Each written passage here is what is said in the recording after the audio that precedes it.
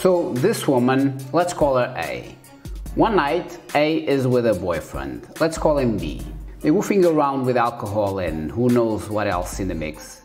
They decide they're going to play a game called If You Fit. So she asks him to get into the suitcase to see if she can close it shut.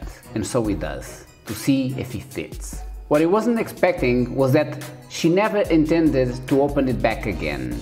So she goes upstairs and goes to sleep while her boyfriend is still screaming his lungs out inside the suitcase, begging her to open it up. But she doesn't care and goes to sleep as she is completely wasted. A couple of hours later, she wakes up and goes back to check on him. She notices he's not moving, not doing anything else anymore. He stopped breathing. Surprise. So she calls 911. So the paramedics and the police get there, and obviously it's too late. He didn't make it. As the cops ask her questions, she tells them they were just hammered and goofing around. But they can tell the whole story is off. So they bring her in for questioning and ask for her phone.